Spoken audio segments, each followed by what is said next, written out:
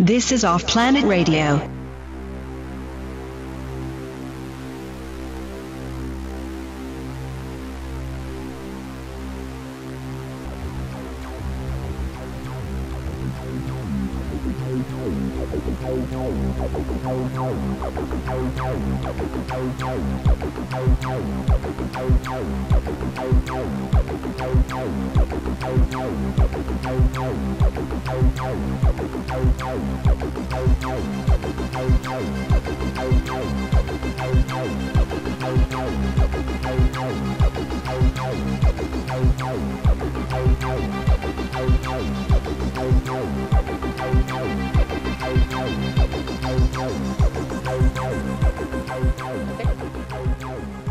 Off Planet Radio, Off Planet TV. I'm Randy Maugans. The website is offplanetradio.com.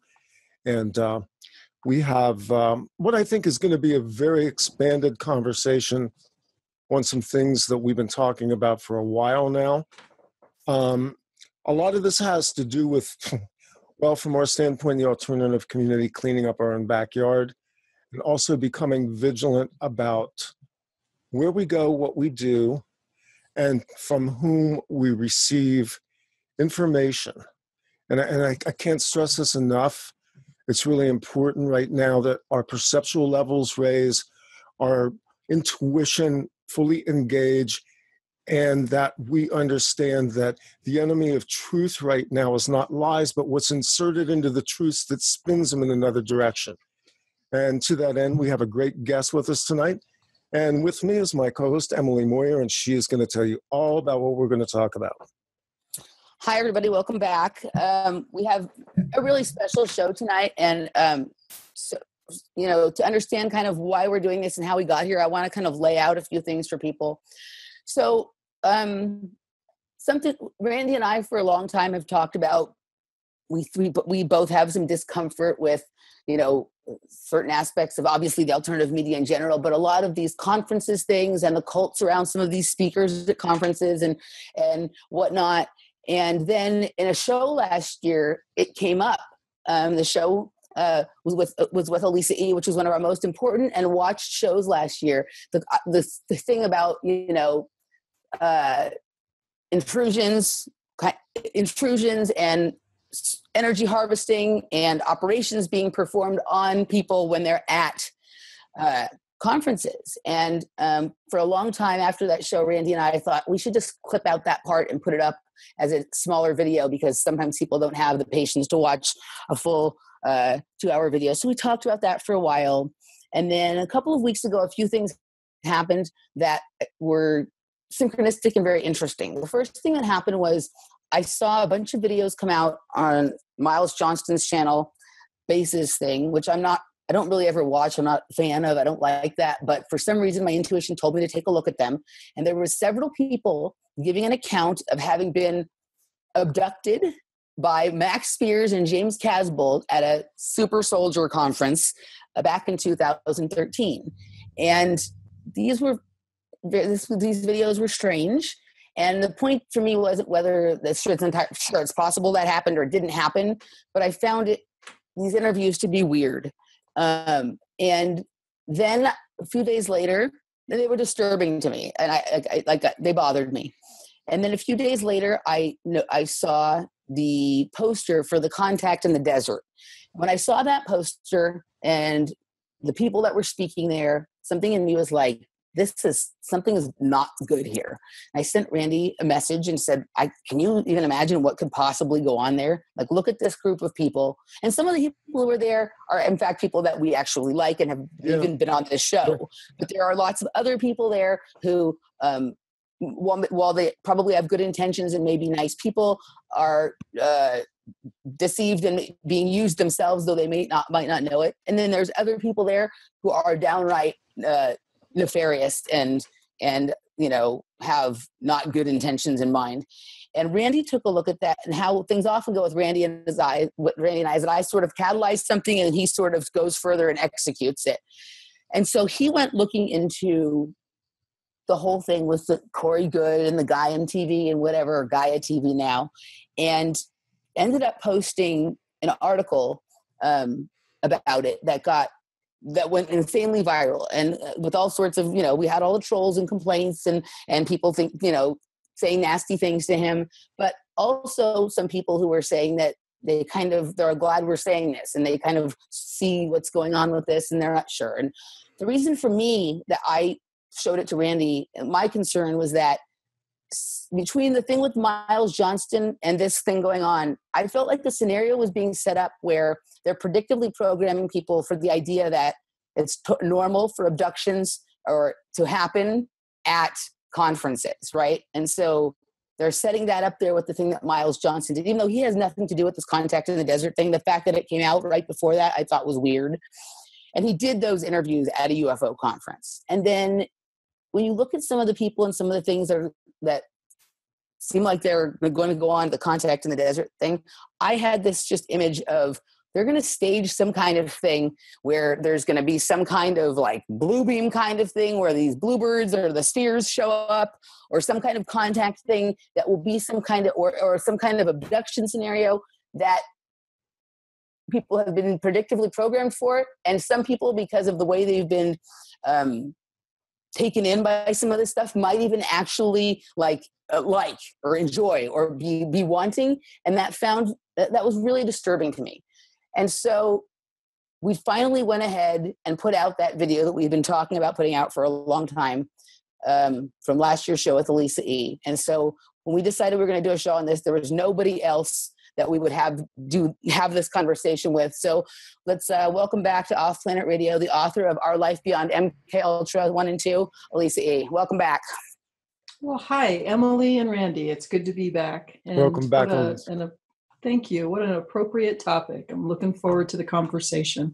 I hope my intro it was kind of a little rambly, but I hope it was clear, and I hope people kind of understand the basis of why why we're doing this. And um, yeah, yeah. so yeah. We don't know where this conversation is going to go right now. We're just uh, three people concerned, and we're going to sit down and have a have a talk. And well, I'll so throw my are. little piece out about the the clip that you put up from our last show, and and the the gist of that for anybody that didn't see it was during our conversation about um, mind control and uh, the MK Ultra programs and so forth. We ran into last year the the subject of the conferences because um, as I began to awaken from significantly awaken from my mind control, um, I was, I believe, programmed to go to ufology because of the the quote abduction end quote memories and the the alien beings and so forth which as i've deprogrammed you know have realized that uh, that was a very dangerous place for me it was a place for me to become um, to to be handed off for reprogramming or what have you. So that's kind of how that clip came about and how we've moved into um, the three of us anyway being in this conversation. So. Yeah, absolutely. Um, Randy, you, I, I, know you. Where where do we want to start this? Do you want to? You know, you recently attended a conference. You had some thoughts and feelings about it. We want to start it there, or where where do we want to kind of leap off from here? Well, yeah, actually, I was at a conference um, about three weeks ago in Philadelphia, which was the Free Your Mind conference, and um, I don't think there's any conferences left. This was a conference that was, quote, about consciousness and ritual abuse. In fact, hold on, let me show you this. It's actually the artwork from the. That's from the conference? Yeah, that's what they put out for the conference. Isn't that dark? Oh my goodness, it's totally Masonic. I know. I know. Wow. Yeah. So, needless wow. to say that this is going to, for listeners out there, We'll link to it in the description box. So well, actually, I'll post an image of it. It's yeah. it's public domain now, anyway. But um, the topics that they're dealing with in these conferences are significant enough that they're pulling in people who identify as potential targets of operations, including mind control, satanic ritual abuse, and targeted individuals. I can guarantee you the time I spent at that conference, I talked to a half dozen people who identified as one of those three categories. So to say that this is a harvesting opportunity, as we did last July when we did the original interview with Elisa, at that time was an accurate statement. If anything, now it's being emphasized even more in the way that these conferences are being set up, in even, as you can see, the artwork that's promoting them, the types of speakers that are being presented on these panels. So I guess where I want to go with this, Elisa, is um, you talked in the last interview about what was frankly a fairly horrific experience at a major UFO conference. Um, maybe you can recap that just a little bit for the sake of this interview, and we'll link back to the other interview as well. I believe it was the um, 2008 International UFO Congress, is what we were talking about. Okay. And um, that was. Is that, that Laughlin? Was, Laughlin, Nevada? Yes. Okay. That was Laughlin, Nevada. Okay. And um, that was being run at the time. I'm not going to name them, but it was a family that ran mm-hmm. it. Uh, they're no longer doing it, I believe. Um, and some very interesting connections within that family, I will also say, that I was cognizant of, just to preface, I was very cognizant of because here's the here's the here's the way it went the prior year i started by going to another ufo conference i was waking up um, i was terrified to go um, i'm a, a, multiple personality so i had alter voices telling me not to go that i was outing us. Um, but i didn't know where to go to get help. Um, i knew i had military involvement and intelligence but i also knew there were these beings and apparent abductions and so forth.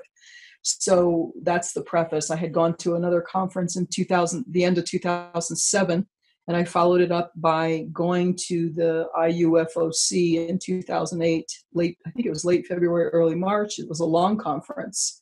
I was actually there for 11 days because I worked the conference so that I didn't have to pay for it.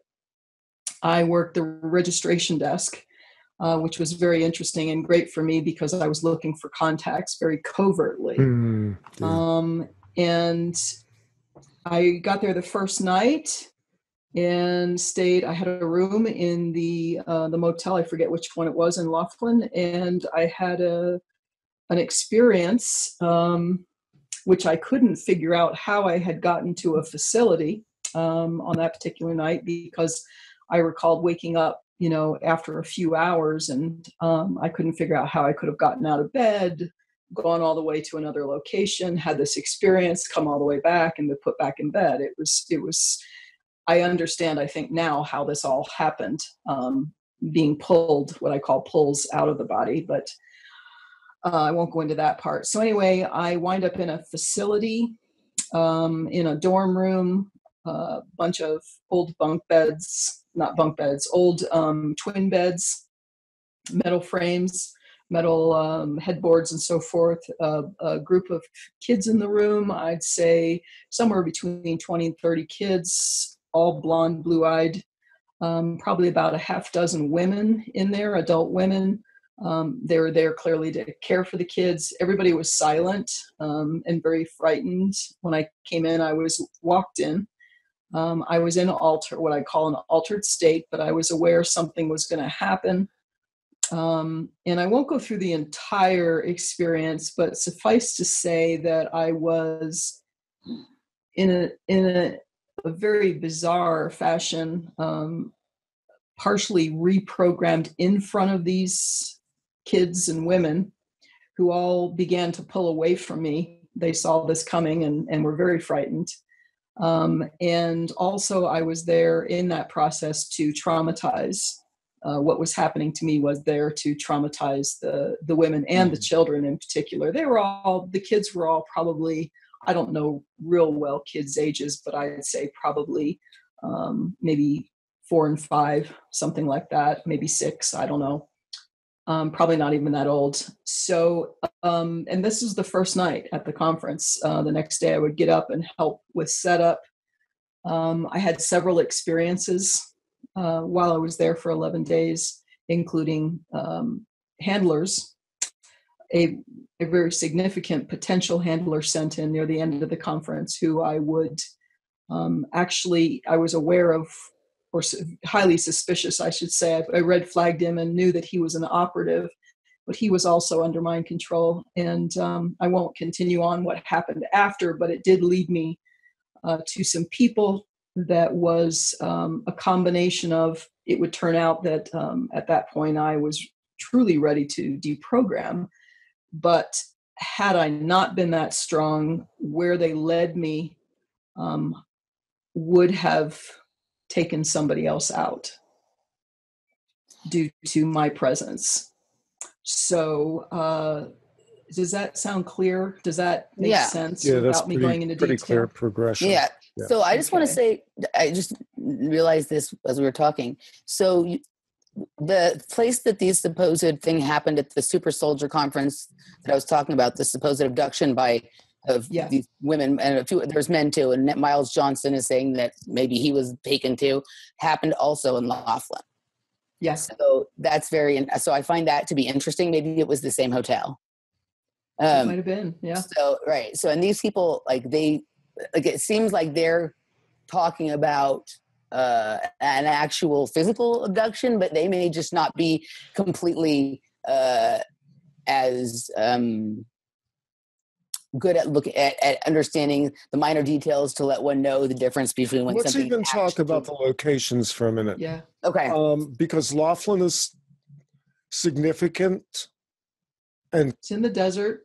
yeah, in the desert. Its proximity is to a major military base base location. Yes and it is also the site of numerous, as I understand it, crash retrieval missions as well. Going mm-hmm. back to the 1940s, we're not talking anymore about, you know, Roswell. We're talking about a whole rash of UFO, quote, type crashes where the retrieval operations had occurred and they're all occurring in these clusters. Now we have Joshua Tree, California, and mm-hmm. the uh, contact in the desert. What a, even just the name of the conference. And I, I'm just going to say this: this sticks on nobody except me because I stuck my neck out and I've made it very clear that what I said was my educated opinion about what's going on with this specific conference and specifically several of the speakers that are there as well. But we're looking at what is such a perfect storm in terms of Joshua Tree because of the energies and because of what goes on in the desert out around Joshua Tree. Um, that area mm-hmm. out there has a heavy populace of, let's just say, some dark practitioners.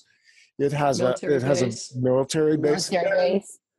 Um, it has a very interesting juxtaposition with a certain piece of rock and roll history and a key death in rock and roll history as well the death of mm-hmm. um, Gram Parsons of the Flying Burrito Brothers, the Byrds. Also, you also U2 has a, an album titled Joshua, Joshua Tree. Tree. Yeah. Mm-hmm. So I mean, none of these things are coincidental. And then mm-hmm. we have we have the presence of people who are known, and I, will just say it. The fact that Steven Greer is going to be there tells you there's going to be these trips out to the desert at night to call in craft, which I've been on the record forever as saying this is the most fucking dangerous, stupid thing you can do. Yep. My words, nobody else's. So, I think oh, I, I agree with you. So that Randy, you really, Randy, you really need to learn how to express yourself. I do. I do. well, you know, let let's let's talk a little bit about Joshua Tree and Steven Greer. Interestingly enough, before I woke up, I spent a winter sleeping in Joshua Tree.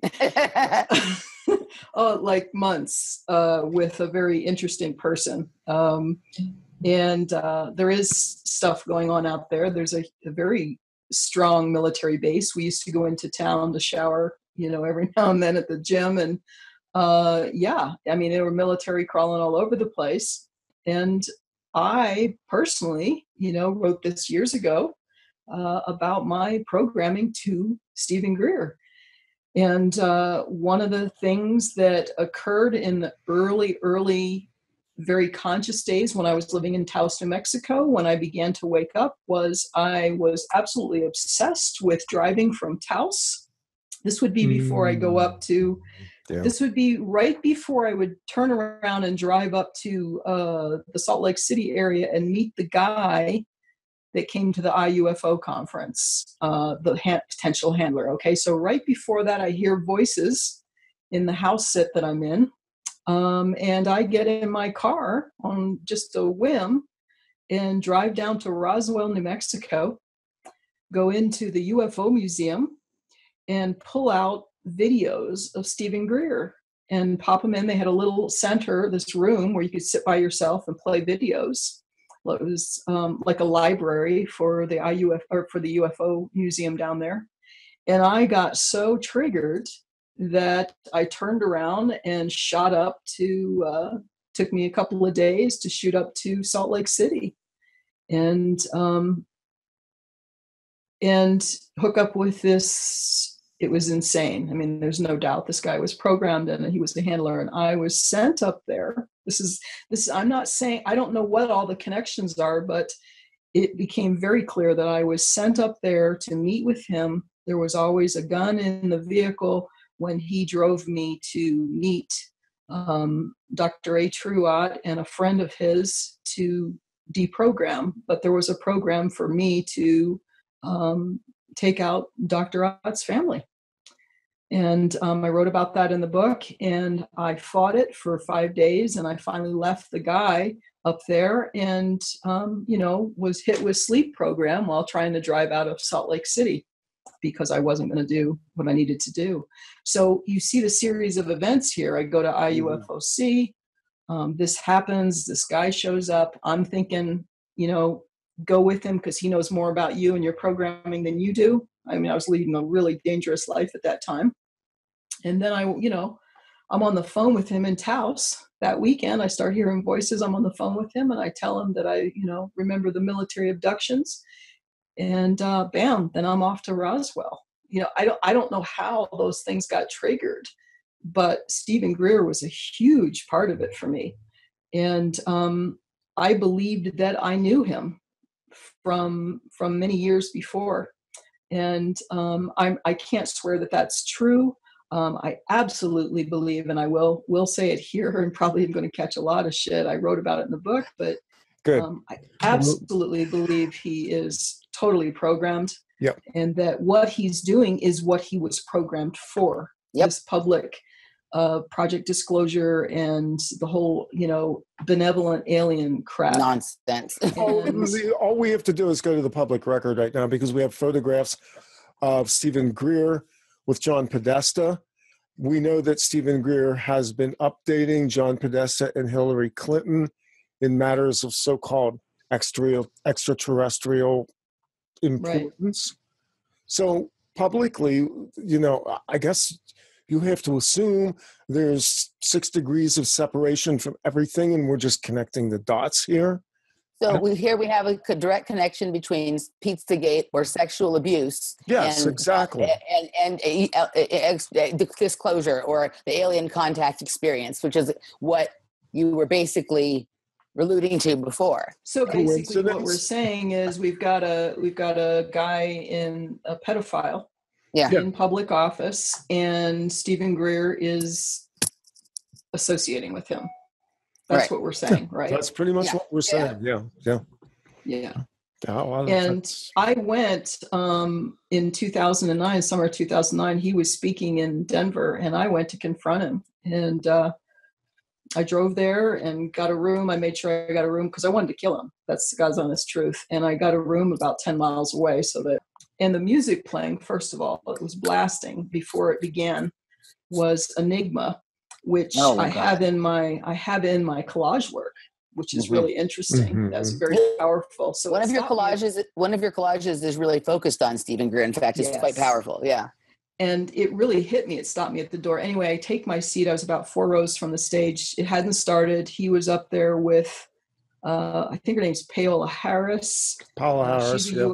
Paola Harris. She's, Harris. she's yes. UFO. Yeah. I forget who else was there. They were seemed pretty tight, by the way. Um, and he had a he had an entourage of bodyguards, and mm-hmm. um, and so this thing start well before it started i guess i had this look on my face. I mean i must have had some serious look on my face because one of the bodyguards uh, locked eyes with me and looked at me for oh i'd say about 10 seconds. Then he leaned over to one of the other bodyguards and whispered in his ear and that bodyguard walked to the end of my aisle and stood there for the rest of the the thing and i thought wow you know, because I was programmed to this guy with a devoted altar. I call her Greer's girl, totally devoted to him. And then I had another altar that wanted to kill him. So I imagine at that early stage, sitting there, I was flipping back and forth. I could feel it. Like one moment, just this incredible desire, and then the other moment, just absolute hatred. So, but I'm watching this conference, and he's well into the conference now. He's speaking and I'm thinking, this is a load of crap. And I look around the room and people are mesmerized. I mean, eyes are locked on him, the mouths are hanging open, they're completely hypnotically entranced. Yes. yes, yes. And he's totally neurolinguistic Oh no, he's absolutely mastered NLP. Unbelievable. And an ego that is just out of the ballpark. So anyway, after uh, one guy got up, he took questions. One guy tried to confront the um, the abduction issue as something negative, and he got pushed aside. Yep. Um, and then afterwards, uh, there was a book signing, so that was my moment. So I I went up, and um, it was very bizarre for me because he looked at me and like it was really fast. He looked me in the eye, looked down my body, and looked quickly, looked away, and wouldn't make eye contact again and um, I said, I know you, and there was somebody behind me. And um, I'm sorry, miss, you know, you need to move on, kind of thing. And um, and then I said something about, you know, what about the um, the military abduction aspect and so forth. And I, I really got very quickly shuffled out of the line um, and the people behind me. And he wouldn't. I kept trying to talk to him, and he wouldn't acknowledge me. He wouldn't look at me and his bodyguards, you know, protect him really well. Um, but I was so uh, triggered by him. I mean, it, I went out in the car and called a friend of mine a long mm. distance and sat in the parking lot. There was not another car in the parking lot. You know, two hours later, I was still on the phone, screaming, crying, um, all over the place. So I often wonder if there are other people who are, you know, in that regard or that deeply programmed to someone like to him, to him in particular. To him, and then now to, to someone, to, to, him, and then now to David Wilcock and Corey Goode. Corey and these, Goode. These, yeah. this, I mean, they're all going to be there, and these they all have. So what Stephen Steven Greer and Corey Goode and David. So you have Corey Goode and David Wilcock's kind of story in the way what they do, which is different than Steven Greer, but you have complete cults around both of these people, and right. even though they are different in what in what how they talk about what they talk about i see a lot of the same mm-hmm. um this a lot of the same concerns like I, I, see a lot of a lot of the same similarities in both the, the kind of um, energy and funding that's around them it's it's basically and fundamentally yeah. a cult mindset because it's based on believing in something with greer it's that all t's all ets are positive and with corey right. Goode to varying degrees. He's not talking a lot about the negative side of. He's not talking about MILABs first off. Well, he he he, he mentions MILAB, like he'll say something like, "I was brought into the MILAB program," but then doesn't really express what that is and why that is not an okay or exactly. good thing. But so right. but his front but his front argument is ultimately the blue avians have a message for you, and right. it's service to others and um, love yourself be nice yeah you know and and it's kind of like the whole point of this is we might need to hear that message but we don't need to hear it from, from Bluebird. From Bluebird. From Bluebird, exactly. Yeah, from, right, from Project Bluebird. what they've done is they weaponized love and light. I mean, look, the whole New Age movement was weaponized as well. Right to lead us into spiritual it's, traps.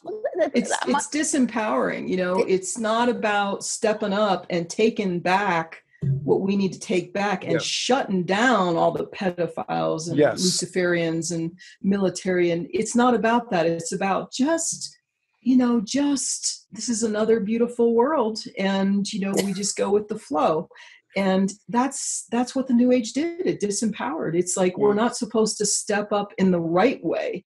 I'm not talking about necessarily guns and so forth. I'm saying stepping up and making sure that this shit doesn't continue you know? Yeah. this is not acceptable.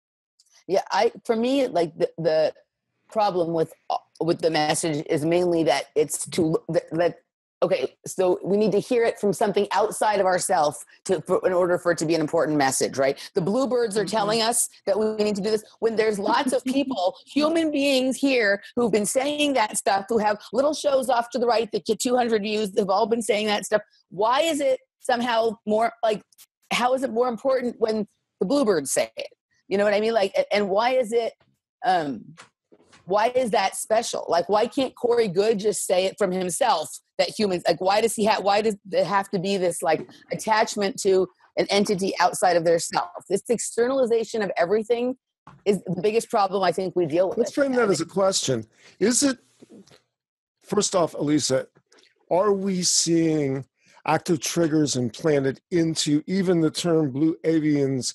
And is this something that's kind of being encoded as an acceptance into entrainment? I think so. And, you know, I think the whole, I love that Emily calls it blue bird rather than blue avian because this is really what we're, this is what we're talking about. And bluebirds were actually the actual uh, you know picture of a bluebird was used years ago in programming. I mean, yep. bluebird mm-hmm. was a part of a programming. So, and what Emily was saying about how Greer and like for example Corey Goode are different, but to me it's just a progression. Yep. It's like um, yes. kind of like the same thing between my model as far as MK Ultra and the newer Super Soldier model, the younger thirty right. something or thirty and under um, it's a progression it's a yep. it's a new new version and yep. the fact that these two guys are there together that's what tripped me up was that we've got yeah. Greer and the new yeah. version, the old version and the new. And I'm going to answer your question by reading some something on psychological operations. Okay. It's just like Good. like Emily said, why do we have to hear this from somebody else? Well, this is right. Psychological operations or psyops are planned process of conveying messages to a target audience, which is a TA, to promote certain attitudes, emotions, and behaviors these messages are typically conveyed using a line of persuasion known as a theme. PSYOP is basically the use of communication to influence behavior. It is used against adversaries, their supporters, and their potential supporters. It is defined by the US Army in the following way quote, psychological operations are planned operations to convey selected information and indicators and they use the word to foreign audiences, but we all know with the Patriot Act and HR 1955 that it's domestic as well. Um, to influence, um, this is their quote, to influence their emotions, motives, objective reasoning, and ultimately the behavior of foreign governments, organization groups, and individuals. An important consideration here is that a, a target audience can be a group or an individual.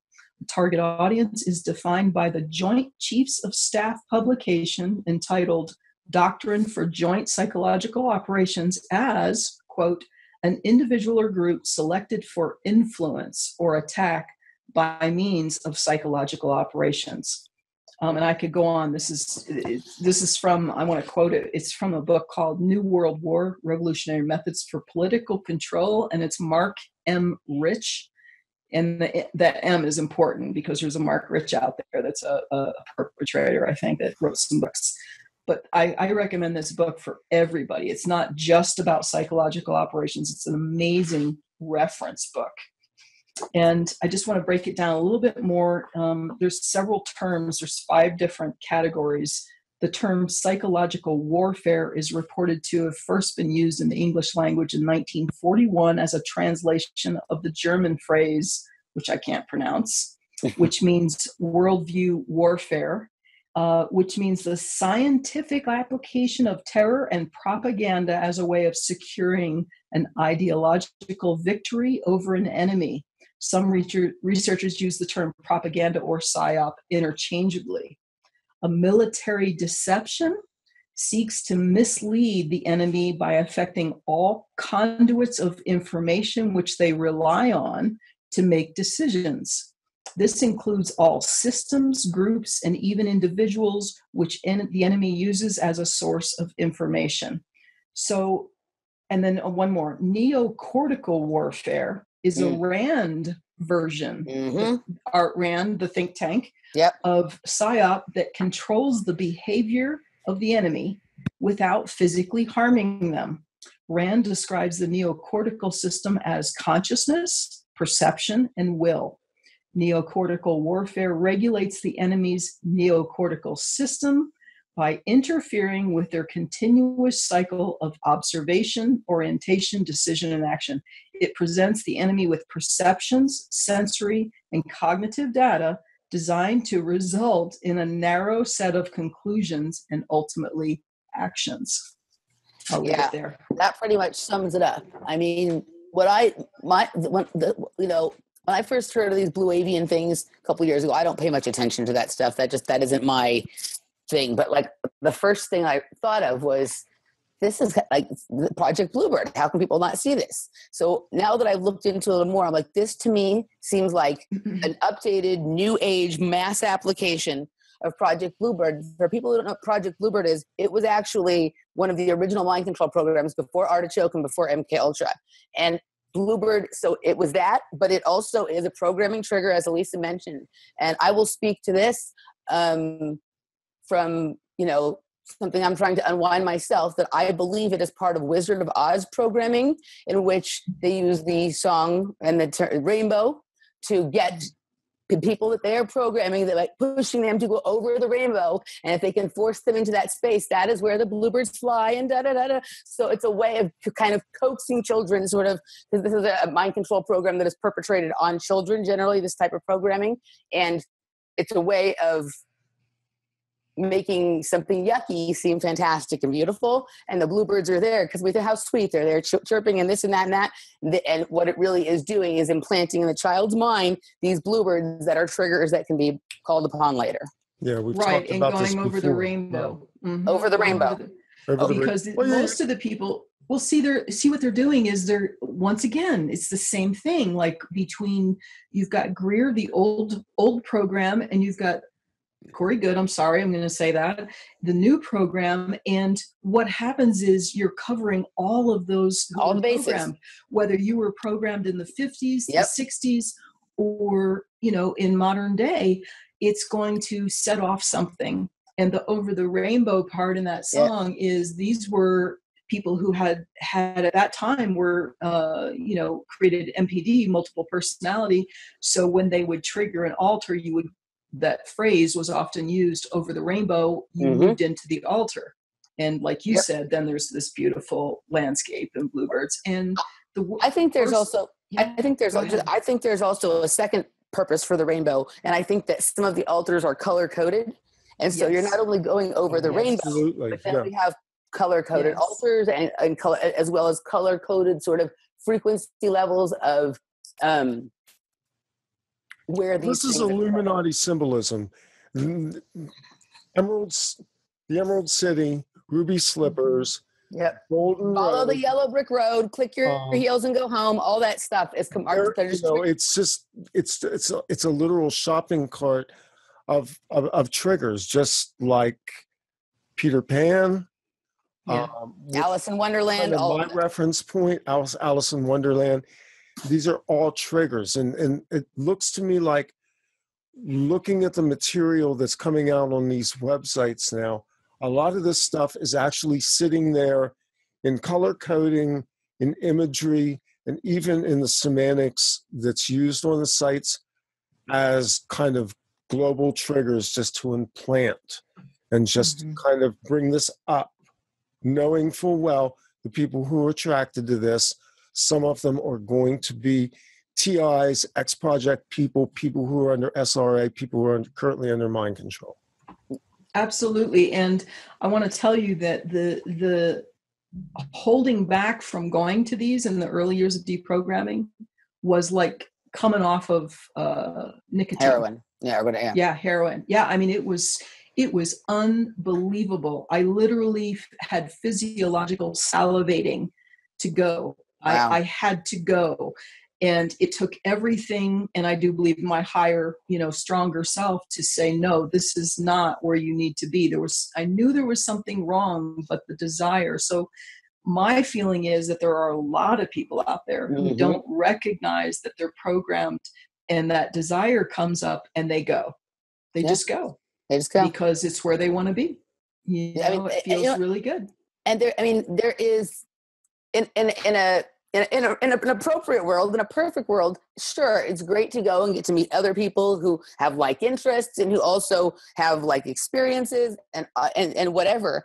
But we're not this right now is not a safe time to do that. We're we're living in a time where everything that is presented as enlightenment and entertainment is actually entrainment and harvesting you know and so it's mm-hmm. unfortunate mm-hmm. i mean i to me at this point i mean i've never something has always told me no about conferences the only thing i have ever been to was just that consciousness beyond chemtrails that was not mm-hmm. a it was in, in the in town in los angeles and i went for just a couple of hours um, you know, it wasn't the same kind of deal where everybody conglomerated on some place for where there was a hotel and whatever. But even within that, I felt a little odd when I was there. So there's something in me that has always been like, eh, I don't know about this. But I do mm-hmm. think that there are occasionally some people who have, you know, small one day things where three or four people get together and speak. And I think that can probably be okay. Not that there's never anything going on there, but this thing where they're taking people out into a remote location far away from where there's not only like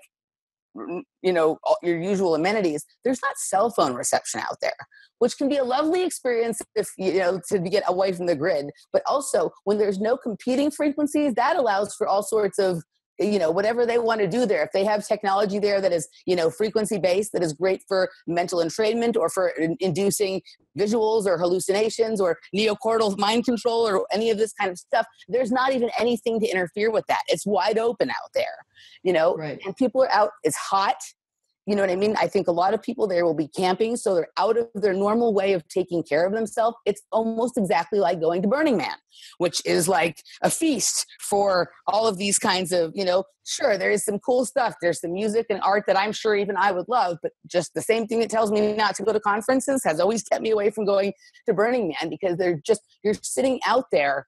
I mean, in the most like inhospitable environment where you're open to everything. Like you just have none of your usual like self protection, none of your usual ways of sort of checking yourself against what your general reality is to know.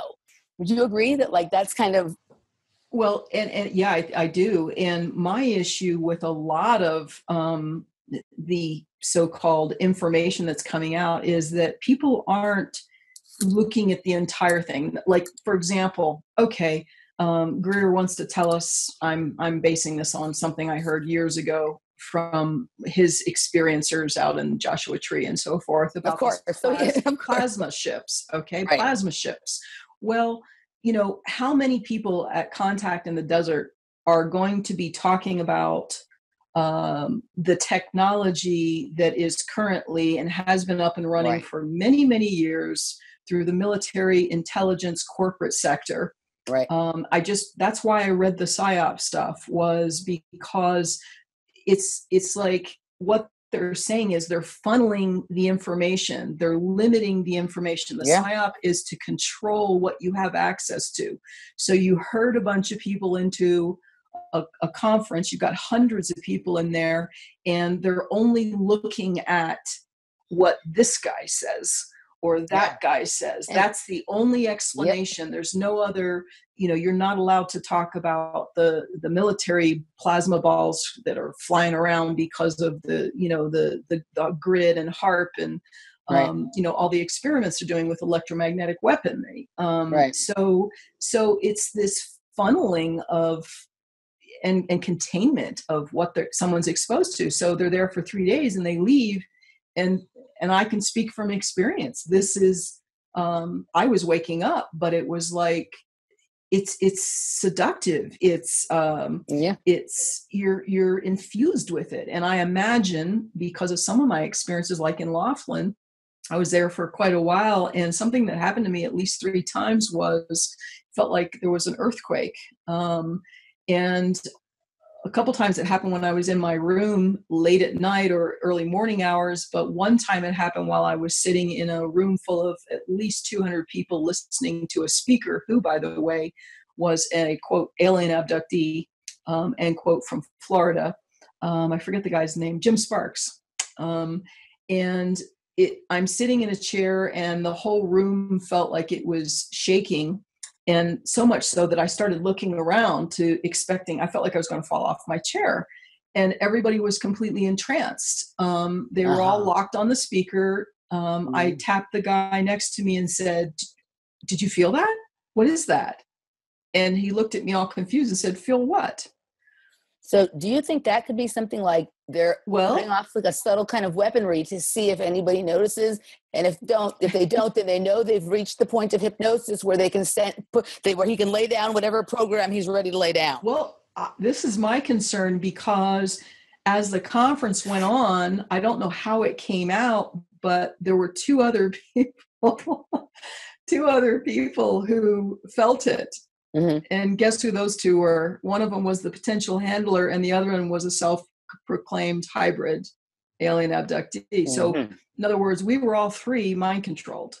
Right. So, we're the ones feeling it, other people aren't. So, what the heck is going on at this conference? Are they targeting individuals, or is it like you said, there's something coming in? We're very sensitive because of our histories and what they're doing to us and we're picking it up but other people aren't. I don't know. I'll, I'll, so my, my thought is is that i think it could be either but all three of you eh, like uh, were probably um, in a sta- some stage of deprogramming or in having your programming break down and these other people who are there are still in the process of being programmed. So for you, it's ringing something that you're like, oh, this just doesn't feel right to me because you're already are you're on the other side of it. So if if the thing is if the thing is a mountain, right, and you're already coming down the other side and you're still on the way up, it's it's like a completely different kind of. Uh, that could that could be. I will say this. one other side of this as well is that yeah. frequencies are being introduced that are taking people into alpha state mixed yeah. with the neurolinguistic skills of the speakers because I notice yes. the top tier of these speakers have a certain cadence, they have a structure of language, yeah. they have an ability to do trance state by invocation, all of they which do hand motions. We're all familiar like with here how this all works.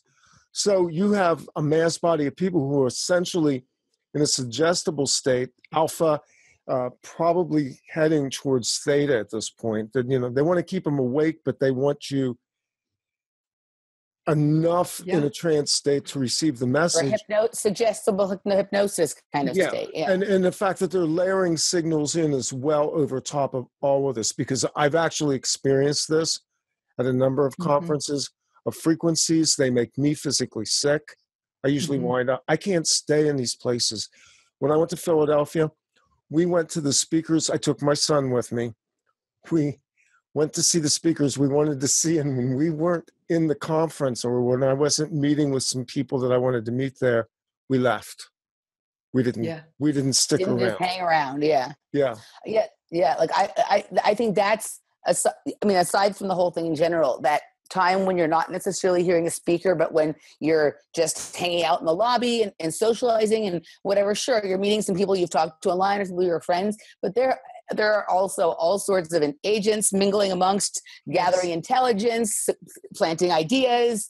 You know what I mean? Doing reconnaissance on people, um, and you know, so and I I I've seen them. I mean, I've actually yeah. interacted yeah. with some of those who are actual intelligence agents yes. in the IUFOC in 2008. There was a young woman, she was not speaking, but she was invited down as a guest.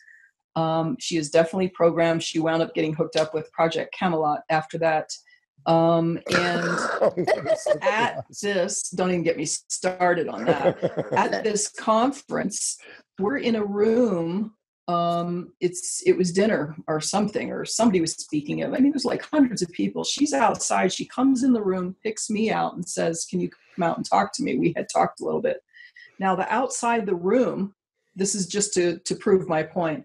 Outside the room, uh, the conference room area, huge conference room, is kind of an open space area where everybody would come in and funnel in there was nothing out there. There was nobody out there but her and myself. There were uh, there was a one of those conference tables that you know the fake wood that folds the tape the legs fold out. There's a couple of pamphlets on it and there were two chairs there. We were near this table. So i come out we sit down and she's very nervous.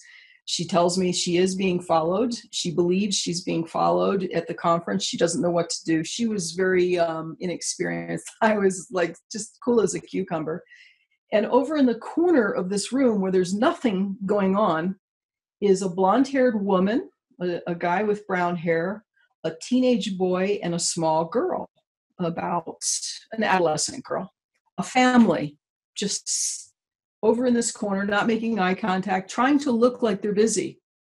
And I look over and I immediately realize these two, uh, the two adults are intelligence agents and the children are mind controlled.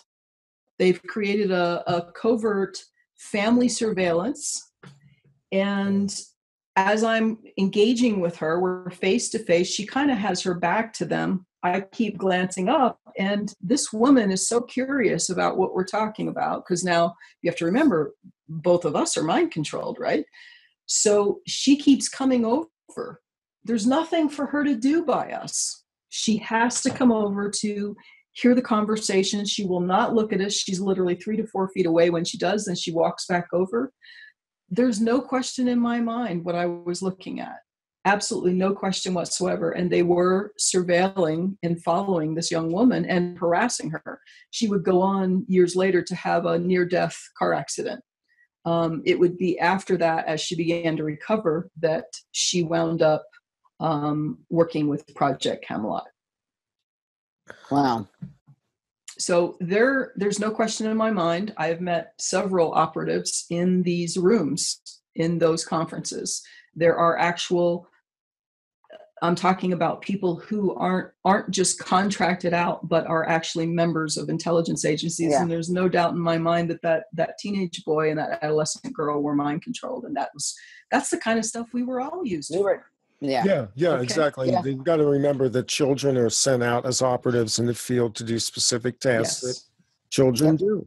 Yeah. Yes. Well, it's, it's, partly because the people aren't suspicious of them, but the, partly because there are right. some things that children are well, very good at. That, she may have been the yeah. tape recorder. that, well, that's what I'm. Yeah, right. The children, you know, children have a different kind of ability for memory and for observation right. and things like that. And who's going to look at a family as surveillance unless you're an insider who knows how it works? Who's going to yeah. Who's going to think the family surveillance? Oh, they got kids. I, I bet you there'll be family. I bet you there will be families there camping at this contact in the desert thing. Yeah yeah, the whole family out there to just you know p- picnic and w- watch the show in the sky or whatever. You know what I mean? Exactly. Yeah. yeah. So, Lisa, let me ask you this: like, and you and I talked about this a little bit, and you know, what what do you, what do you think of this whole secret space program in general? I would like to hear from you what you think of that, and and Randy's kind of view on that, and then I want to say what I think is going on here with the whole. Oh, like yeah. this we we know that there it is let's just hear your kind of when, when when someone says secret space program what do you think okay well there's to me there's two once again getting back to looking at the full scope rather than the funneled information so there's two in general two versions that are being pumped out hmm. um, mm. or maybe one version that's trying to take uh, take precedence when there's to me there is an actual weapon program mm-hmm. um, i believe and i'm not an expert on this okay i'm not saying this as insider information but um, i do believe that there is a uh, incredible uh, detrimental um, global weapons program uh, grid that involves a variety of mind control apparatus down here on the ground that works with things up in the sky, um, including the ionized atmosphere. So to me, that's what I would call the real secret space program. I wouldn't even call it a space program. I would call it a, a major Atmosphere- mind control, atmospheric mind control program. Yes. Yeah. Well, that is going for the masses. Yeah. Now, what's being promulgated is a cross between uh, the the and there's old versions of Corey Goode. Okay, there's very yeah. old versions. He's nothing yeah. new in no. my book. He's nothing new. He's just no. a new version. I mean, we have people talking about working on Mars that goes back into the the 90s.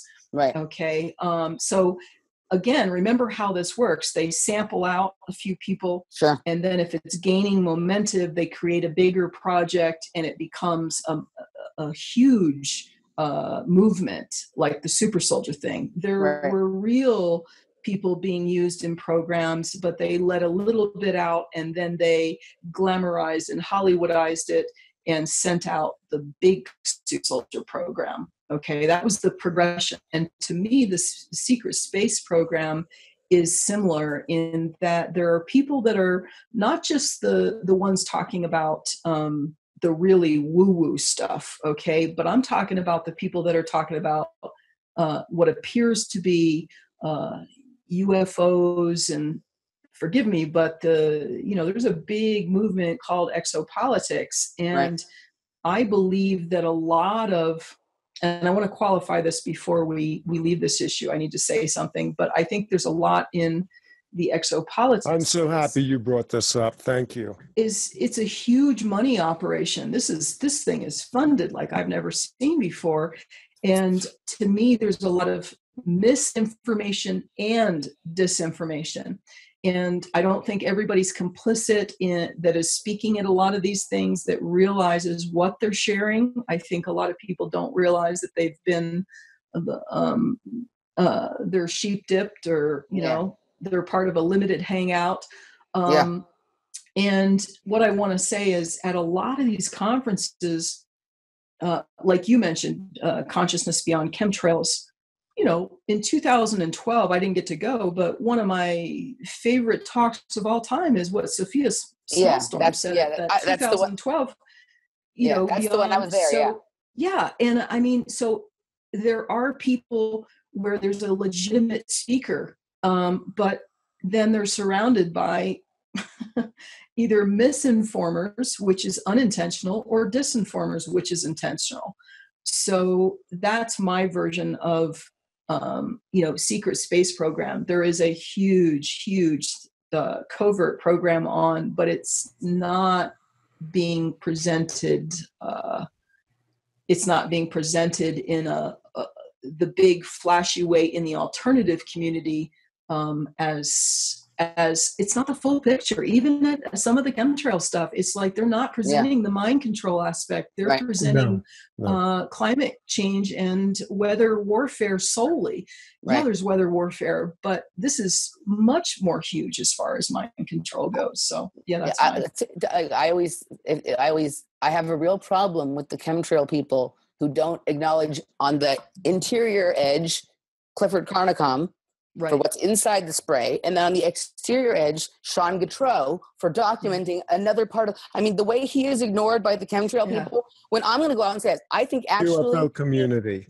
The, he's, he's, ignored by the UFO yeah. community and the chemtrail community and the secret space program community. When I would say he's actually the person that has doc- documented the most about all of those things. He has the most video evidence, right. and they ignore the shit out of him. You know what I mean? Yes. Like, what it, I was going to say earlier too yeah. was those who remember back to the 80s, if you recall Reagan's program Strategic Defense Initiative, SDI. the code name was yeah. Star Wars. Yeah. Yeah. you know, so yeah. operations yeah. weave a fair amount of these, we call them fictional fantasy allusions into real programs. I mean, that's what Rand Corporation does. They term these uh, right. these names just like they did with the first Iraq War. Um, yeah. That's all branding, but that's also part of that same program that you read about earlier in, in, in the mm-hmm. show, Lisa, is is getting this into the consciousness where people begin to flow with the pattern and suspend critical thinking to embrace the larger paradigm. Right. The theme or the meme, right? The theme of the meme. The theme yeah. or the meme. Yeah. And the blue yeah. avian, as mm-hmm. we pointed out, the bluebird, the blue bluebird. avian is the theme meme.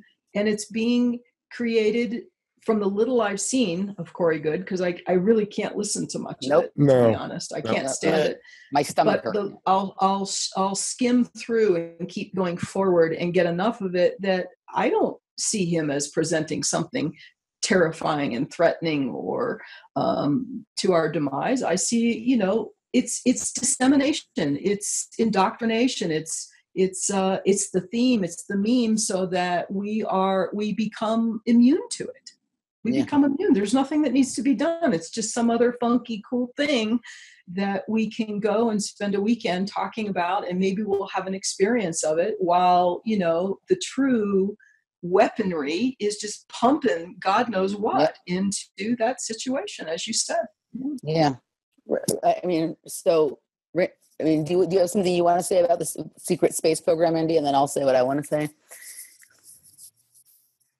No, I for now I I just like to kind of stay on the track because the secret space program is such a labyrinth right now that I just prefer if we can get some clarity on on what Elisa thinks about this. I, I really find the whole thing to be a tripwire because of what I believe about what space actually is relative to mm-hmm. what has been taught, and yep. also what I believe is being presented by people that I will say believe what they are telling you. And I've said this about people who have been on the show. I totally believe they are not lying, but I also don't mm-hmm. believe that what they experienced was what they presented because it was either a simulation or it was an induction. Mm-hmm. So maybe you can go with that. Mm-hmm. Okay.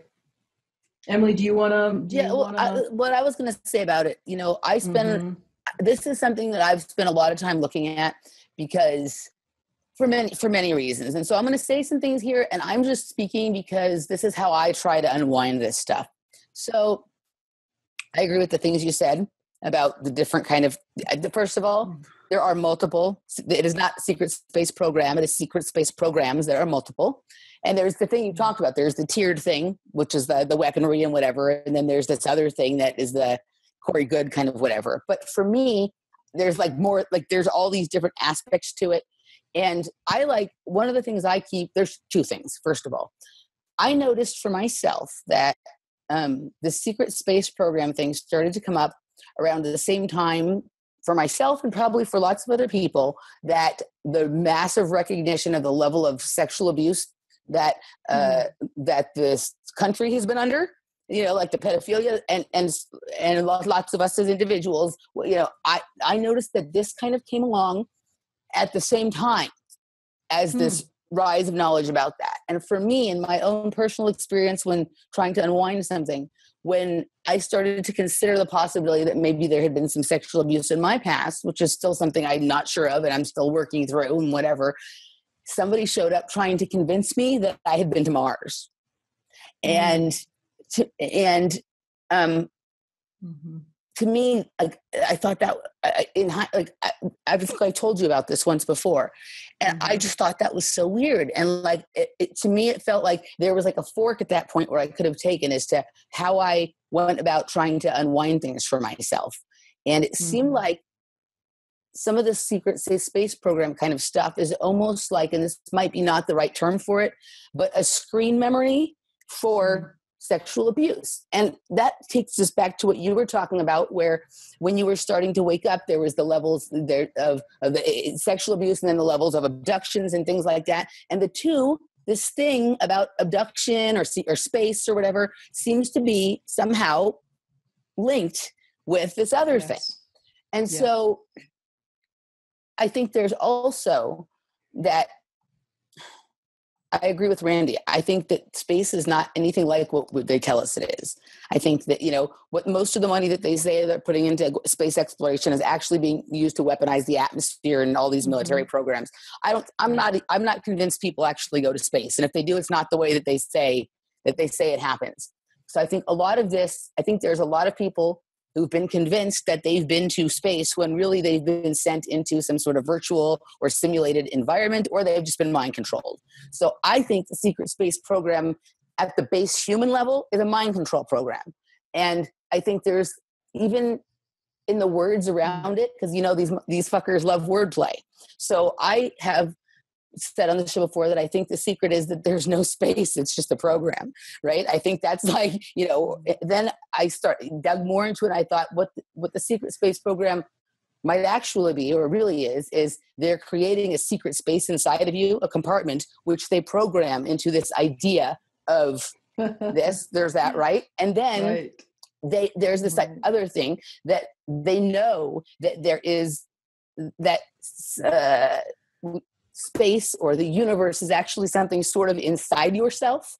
And so, what this really is, is a weaponized program to explore and to be able to destroy and manipulate consciousness so that they know that there's a secret space mm-hmm. inside of you like like where that like the inner version of what outer space might be. And there's a program to make sure that they invade that for people. Just like they, they're they're weaponizing space they want to weaponize the space inside of you that is your inner cosmos um, and so all of those things are things that that come and i'm like sweating right now as i talk about this. Yeah. You know what i mean? And so um no, I, think, I think it's good yeah. good what you're saying and i because it's true that there's a there's a weaponization of the atmosphere and uh, around the earth and there's a weaponization of the internal. There's no doubt about that and they're coming for everybody.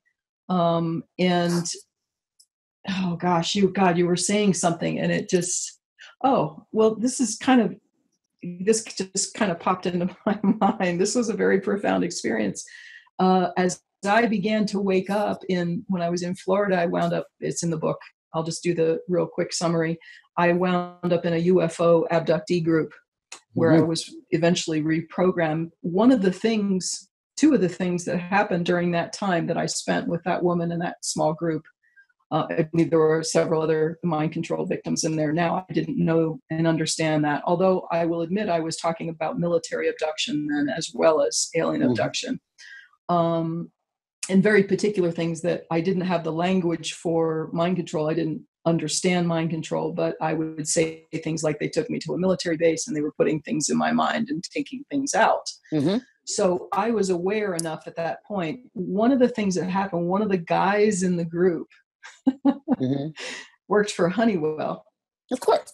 And he took me to a insider uh, launch of the space shuttle at Cape Canaveral at night. Mm-hmm. So we weren't where other people were. We had a special pass and we were across uh, part of the intercoastal waterway, and the launch was out there. And it was one of the most physically uh, and psychologically profound things in my life to witness.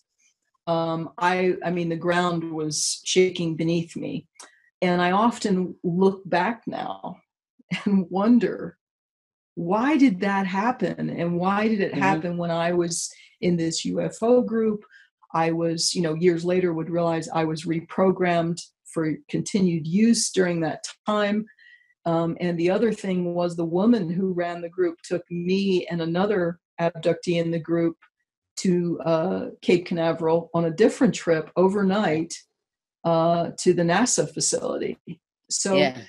there's there's some link there. There's some yeah. link, and as I wrote about in the book, you mentioned Mars. I have a memory at 18 and you know from the book that I I classify these so-called aliens that I had interaction with as more of a inter or inter or intradimensional yeah. um, entities or even demonic in some cases, um, malevolent beings, asuras, so forth. Uh, but I talk about at 18 in the middle of the night in my bedroom standing before a being, finding myself standing before this being um, my eyes are closed and I can't seem to open them. And I telepathically ask permission to look at him. And when I open my eyes, there's a, a humanoid being. Um, and I won't go through the whole description, it's in the book.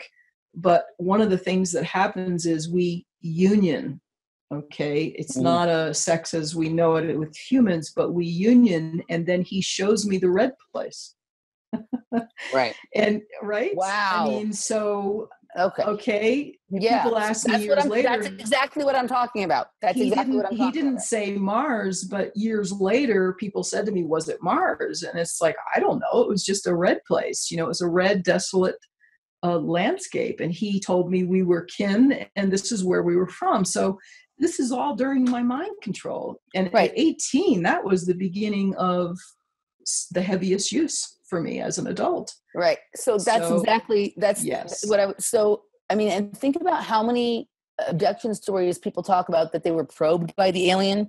So right. there's some kind of whether it's some kind of hypnotic thing or it's a technology that there, there there's possibly a human sexual interaction that is inappropriate happening to you and right. it's being uh, framed for your consumption as some sort of space extraterrestrial yes. something other kind of experience and, and, don't forget don't forget the weaponry the weaponry dudes the can be used in a way that it and i've experienced it repeatedly as a rape dudes yes you dudes are directly dudes are directed entered, yeah. yes yeah so, no i mean that's i mean you know and and also when someone is penetrated in a certain way by something by human or by something technologically right. the spinal cord the spinal cord will sometimes react in a way that creates a visual space that absolutely. matches in a lot of ways certain kinds of descriptions we've been programmed to believe of as space. Right Randy? Essentially. How are you? Uh, I'm actually sitting here feeling a little triggered right now, but yes. essentially the Kundalini thing is, is you know, again, Important. Uh, it's opening up a, a dimensional visual space yes. where, again, you've got induction, hypnotism. Uh, yeah. Just as um, MILABS has been used to hide certain laboratory operations, certain military operations that are associated to human harvesting and experimentation, mutation, genetic experiments. I think, can we assume at this point that secret space program is kind of a means to cover up both the weapons programs and other clandestine operations that are designed to pull us into cooperating with this energetic pattern that's going on of alteration of our atmosphere, the terraforming of the planet, as well as as well as the involuntary trans transhumanism that we're being inducted into. Transhuman and AI, yeah. Like you know, right now it's involuntary, but they're trying. You know, I even think of some of this uh, bluebird uh, sphere being alliance stuff as a way to get people to somehow. Well, there's your plasma right there, the sphere beings. Yeah. You know the right. You know, kind of and, like. And knowing that these, a lot of the weaponry creates plasma.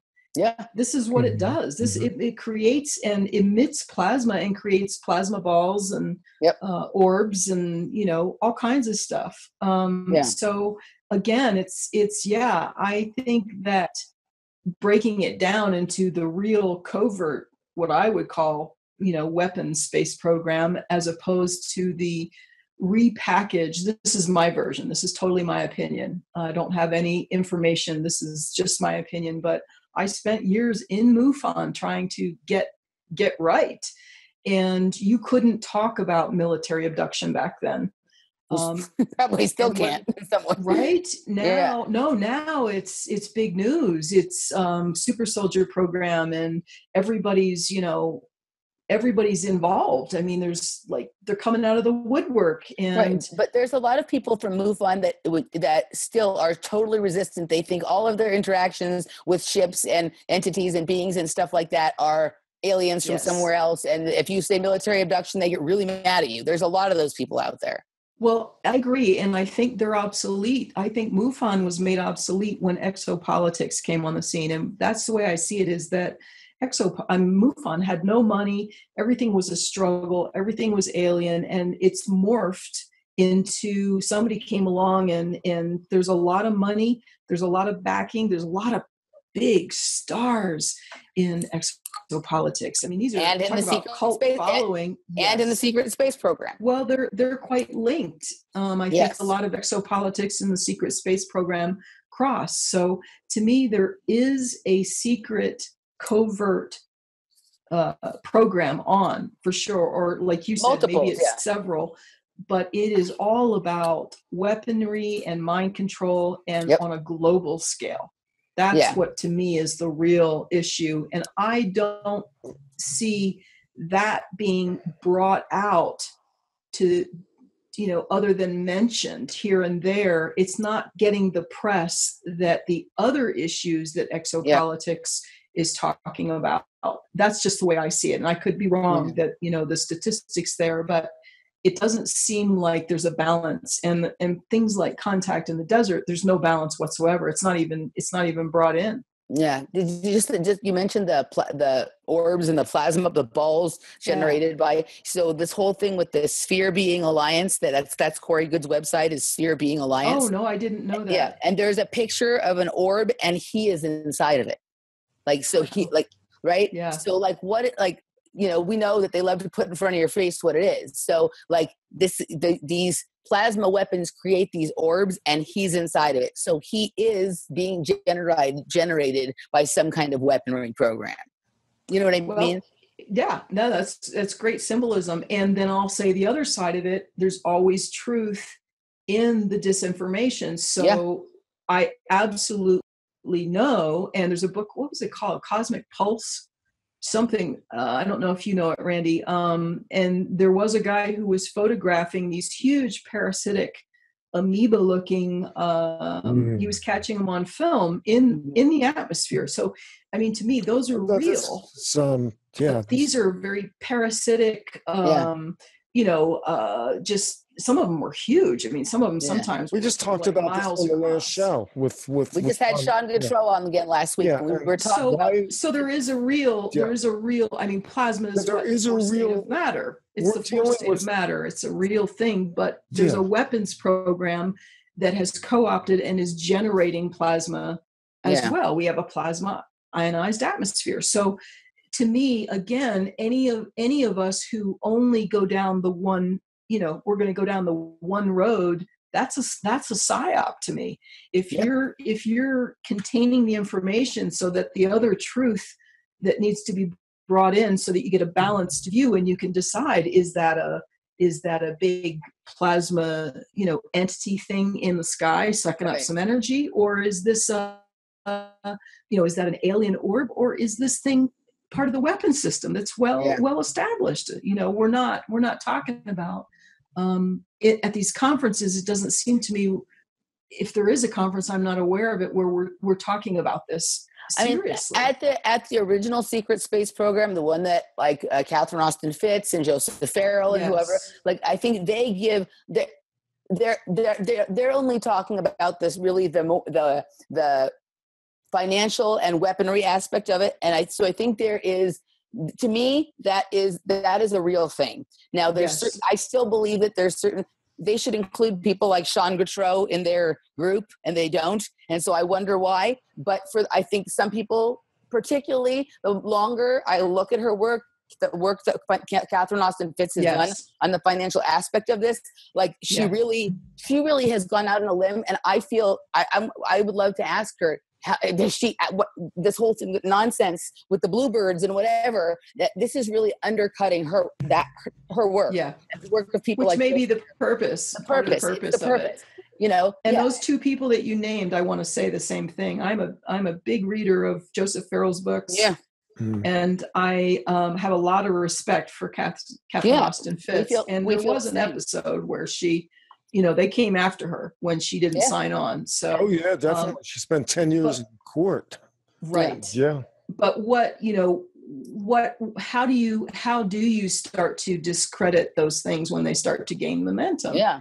You start attaching this other information that you know i mean that's the way i would see it.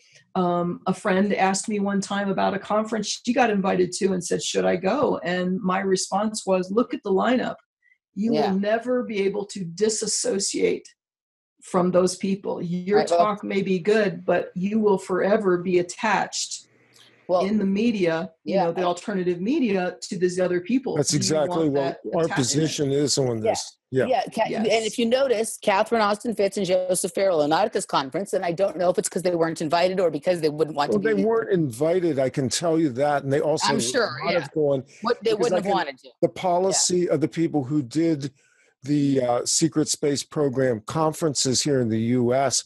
was, and I can say this because this has been publicly outed, that people like Corey Goode was specifically not invited because they wanted to go with the hard evidence side of this because they're working yeah. what Emily and I call the topsoil. They're basically building a case of documentation, evidence, mm-hmm. true whistleblowers, mm-hmm. verifiable facts. And in my mind, the biggest problem with all of this is where this all ultimately winds up going, and it's uncomfortable. I think for us, given what we do is that so you have the ground level people like Joseph Farrell, Catherine Austin Fitts, these people who are doing very solid work over a long period of time. You have people like yourself that have come out and disclosed about MK Ultra, about government programs. This also takes on a psycho spiritual aspect as well, and it's it's mm-hmm. probably the most narcotic aspect of this. And to be quite honest with you, I'm not completely isolated from this allure myself. That there mm-hmm. is a spiritual aspect to what we're talking about here. Yeah. In the sense that we're in a spiritual warfare program, mm. which is pulling people into either the dark side or the light side, but in fact, there's no difference between the two. They're just simply different shades of the same gray that they're presenting. Mm-hmm. And I mm-hmm. know that doesn't sound like a question, but I'm wondering in terms of research, in terms of evidence, we're never going to be able to prove all of the things that I think we know are going on. And I don't even think the mm-hmm. best researchers can because at the top levels of mm-hmm. all of this, it's not documented. This is undocumented. Right. Special access programs. By definition, right. it is not unacknowledged documented. special access yeah. programs. That's so that, that like yeah. when, uh, when none of us are ever gonna you know get our file in the mail that tells that say you right. know that say all There's no FOIA for this. Yeah. So it is the yeah. weird you know the weird. They don't. Yeah. Yeah. They don't. They don't. They don't have this written down. And I have said on one or two occasions publicly and that I actually believe that the release of the old uh, section of MK Ultra documents was intentional. Mm-hmm. Yeah, because it was so limited in scope. Well, um, also because then they could say it was over. Out. Yeah. Well, and they knew it was going to come out, but they let out what they wanted to leave, put out, and the the real dirty, dirty stuff.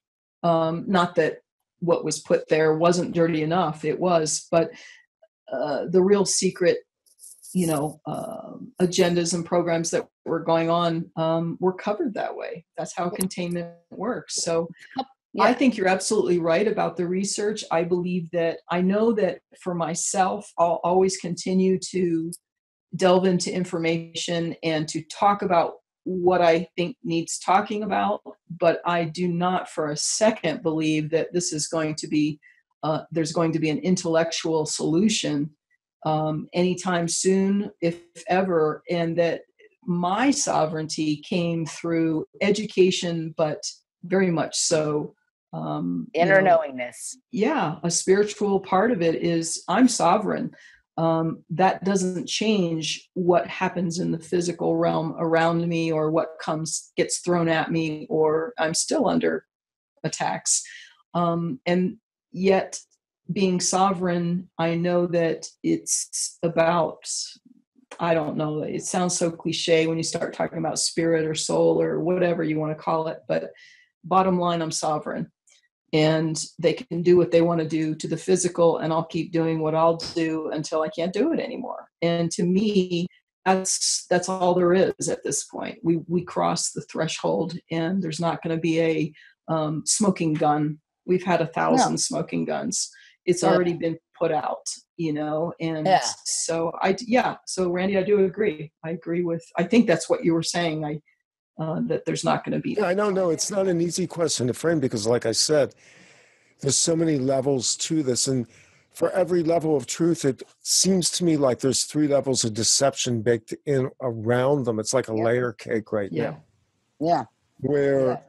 what is being played off the most is clearly emotional responses from people and some of that are hooks into the psyche where there's this desire there's this whole movement built around ascension this idea that we're in this new age that we're about to embrace exopolitics which is exopolitics is a completely bullshit term. It means nothing.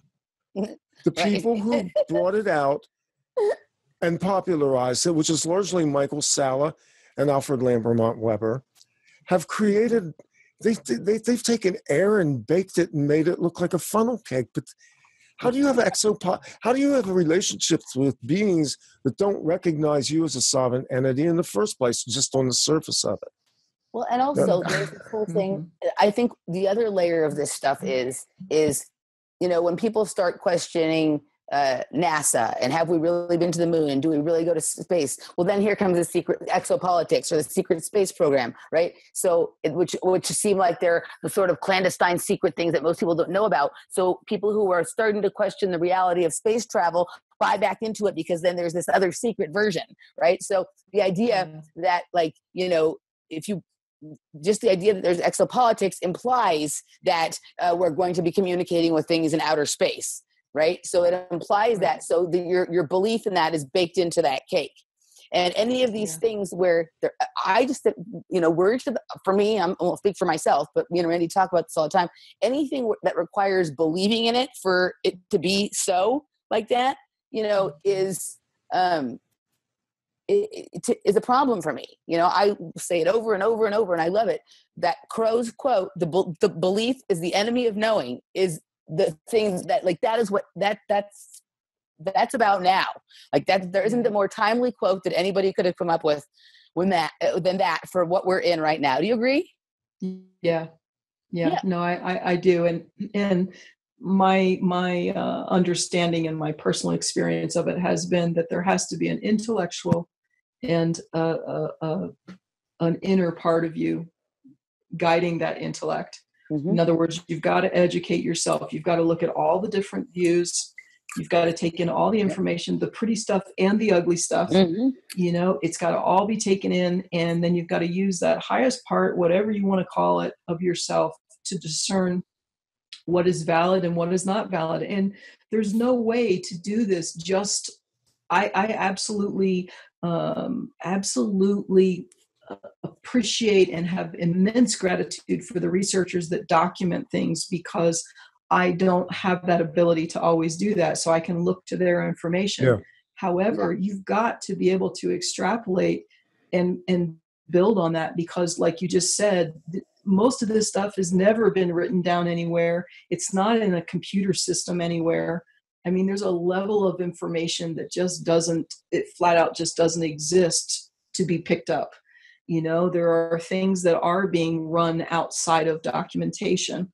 So we have to use our god-given whatever you want to call it uh, mind and brain power to take that information take all that information in and and not only discern but extrapolate a little bit and say wait a minute this doesn't add up you know? Yeah. this doesn't this isn't jiving you know? Um, those are competing concepts and um, one feels incredibly false and maybe feel isn't the right word but there's some level of wait a minute.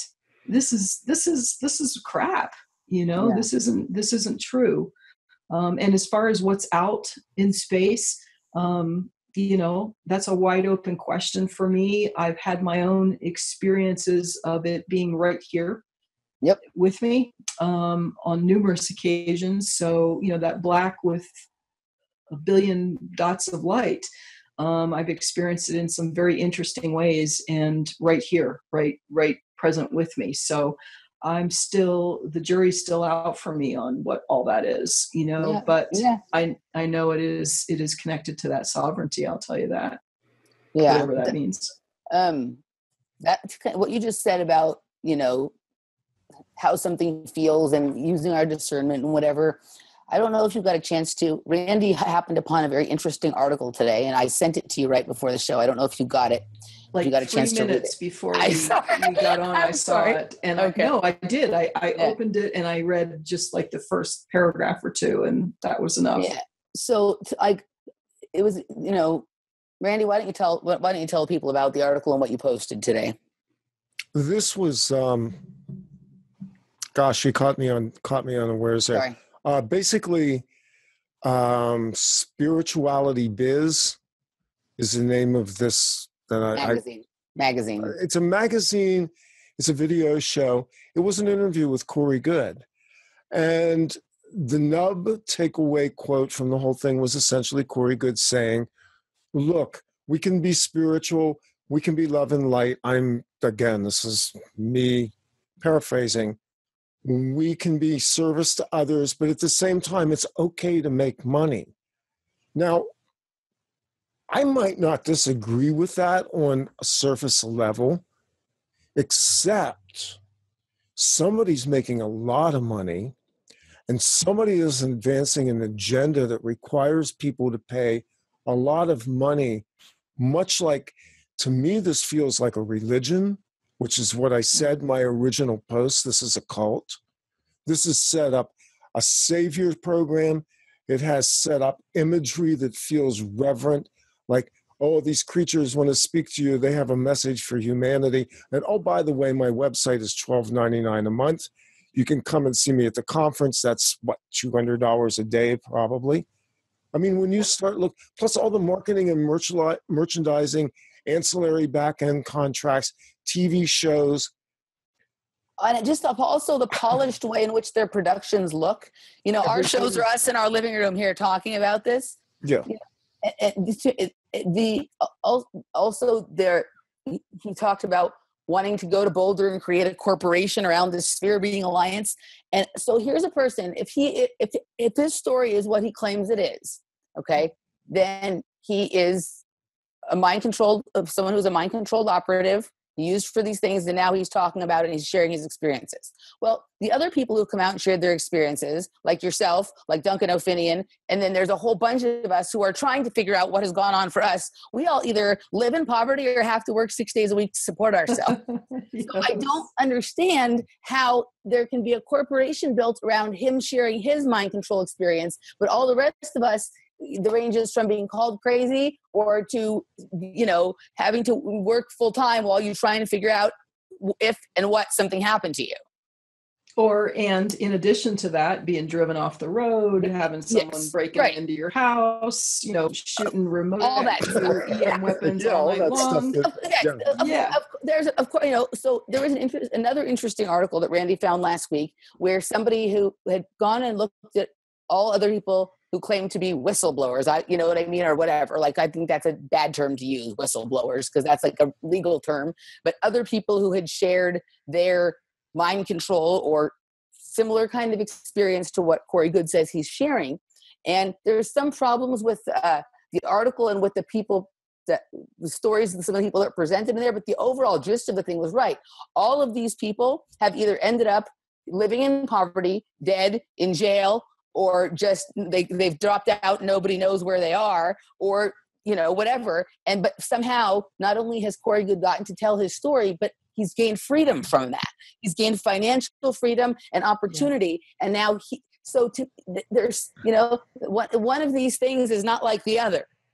right You know what I mean? Right. And and I just um there's where our discernment and our hey what the heck is going on what is what is happening here because if if if someone like you know let's say someone like uh is talking about satanic ritual abuse uh those people don't have much luck publicly um and what's interesting to me is nothing in the uh, satanic ritual abuse or pedophilia community actually stops or changes. Right. Okay. You know, like the this really uh, aliens and and UFOs and and uh, weekends for you know several hundred dollars or more. I think it's more. Ex- yeah. to go experience this out in the desert with someone, or you know someone who supposedly has got a real in with these beings, and like Greer. Um, these are completely dichotomous storylines and lives being led. Um, I mean, most witnesses who come forward with names and facts and dates, like those two uh, children in Hampstead, um, Hampstead, Hampstead, the little blondes who I watched the videos. There's that's the real deal, and the little boy is he's gone, man. I mean, he's just gone. Uh, you know, their videos get pulled, they get sent back to the people that are abusing them. Um, yep. I mean, this is the way it goes with the true stories to me. The ones that are being uh, sent out there as mind control subjects who are being designed for public consumption, their stories seem to go like the Greers of the world and the Goodes of the world. And that's what I see is it's completely, completely different uh, lives being led there. Yeah, you know, and you can't I, glamorize SRA. I mean, I remember back or mind control. But I, you know, I, I, think I actually, no. I actually think they are trying to glamorize it in like the pop music media. I do, right? Too. Like they're glam, like they're, they're people don't understand that that's what they're watching. So we have this right. weird thing going on where people are actually watching the symbology of satanic ritual abuse occur as pop music videos and thinking it's wonderful. But then when somebody comes out and actually talks about what it really is, they're like, "Oh, that person was crazy," and you know, whatever, all that. kind Right? meaning, meaning, yeah you can't really the real thing you can't glamorize thing, it. So if you're glamorizing it or if you're making it a desirable experience, mm-hmm. you're not looking well, you're at making a thing. fantasy out of it. It's like sadomasochism. Yeah. yeah. But if you go back, and I worked with another talk show host about seven years ago. We did interviews with uh, Randy and Pamela Noblitt, who did mind control in the 21st century, which was heavily into SRA. I do not see those people out there on the lecture circuit. I've never seen them on the lecture circuit. They can barely get arrested in the alternative media because that book right. documents in gruesome detail firsthand accounts, much like you've put out, Elisa, about your life and what happened when you were in the projects. Mm-hmm. This is not the stuff that people want to hear. You know, this no. super soldier thing now is comic book fantasy for the most part and it's mostly bleeding. Out, and you heard he's coming out with a comic book. That's part, was part of the interview and the, the, thing. The, uh, Corey Goode is coming out with a comic. Yeah, see, I didn't this get to an entertainment oh franchise. Yeah. yeah, yeah, I mean, that would like li- like literally. So if you're not so outraged about it, so no, if well, you're not outraged about it. I'm sorry, I talked every. No, no, go, no, go ahead. No, I just want to say, if you're not outraged about anything else, you have to be outraged about the fact that they have taken something this horrific, this horrendous, and turned it into an entertainment franchise in such a cavalier yeah. method.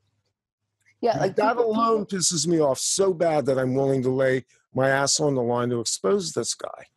Yeah. People I know who who have what I would consider to be, as hard to say, a, a, real kind of abduction experience. And when I say real, I mean it could be a MILAB or if there is something out there, there is. They're horrified by it.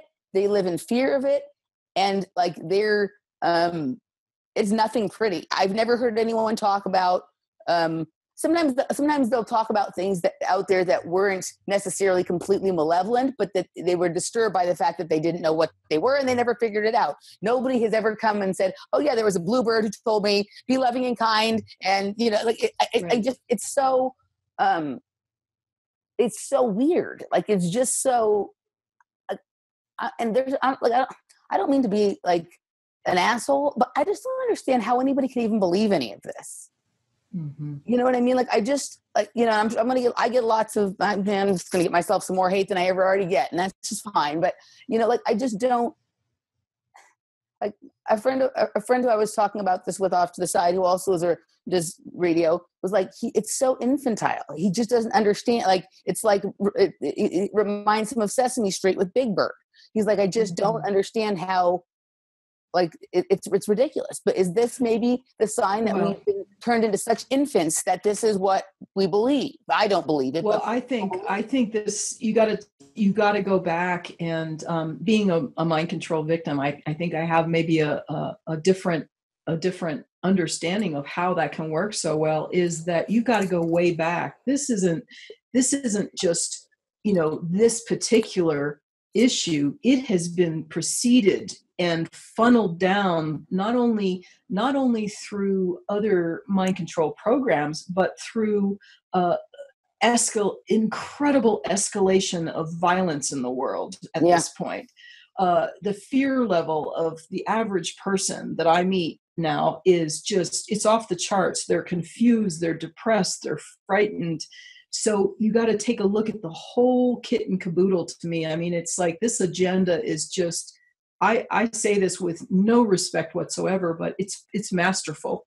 It yeah. has been in the works for so long and it it funnels it into, you know, sometimes I see them sitting back laughing, like, look look what we can do at this point. These poor, you know, idiots out there. And I don't mean that um, you know, when you're under mind control, there's an incredible amount of intelligence. Most mind control victims are incredibly intelligent. It's mm-hmm. not really an issue of that. It's an it's an issue of a long-term psychological warfare mm-hmm. that involves physiology, their their work in your body, mm-hmm. their work in your mind, and they're attacking your spirit. And and what I read, the the whole concept is to break the will of the enemy. That's was in one of the military documents was that psychological operations done properly, utilizing all the different uh, five avenues that he mentioned, uh, is designed to not only control information but ultimately to demoralize, to demoralize, yeah. and and physically take out. So, in other words, there's a slow psychological and physiological degradation until you are no more. Either you can't fight me uh, psychologically or we physiologically will take you out. And I can vouch for this. I'm on the yeah. slow kill. I know several people who are. Um, that's just where we get handed down to after we're no longer of use in MK Ultra. You either get taken out completely or you get put on the slow kill. So and and I have to some days pull my, you know, when I wake up, get up and and make myself get focused and get busy because I that's not what I in, you know necessarily want to do because of what's happening. So on a mass scale, it's mm-hmm. the same thing. It's that slow you know boiling frogs um, right. slowly slowly cook them down until they don't even know that they're not making they're not using critical thinking they're not using that intelligence combined with that intuitive ability to to discern and extrapolate. So it's it's a long term thing. And and i don't have a problem seeing how society has gotten to this this place because that's yeah.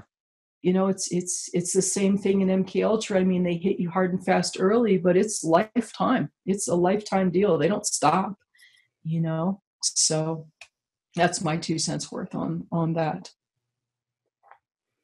that was actually an incredible way to kind of pull a lot of concepts together um, because it's really the microcosm of what this is all about.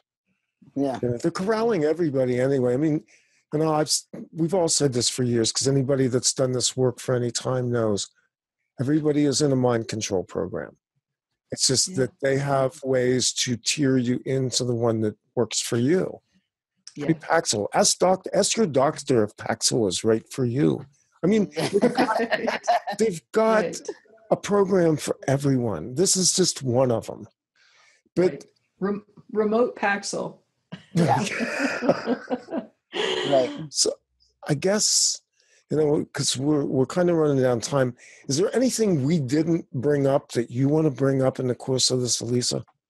No, I think I think we really covered it well, all three of us. I think it. Uh, there, know, there's one. Uh, there's one more thing I want to say.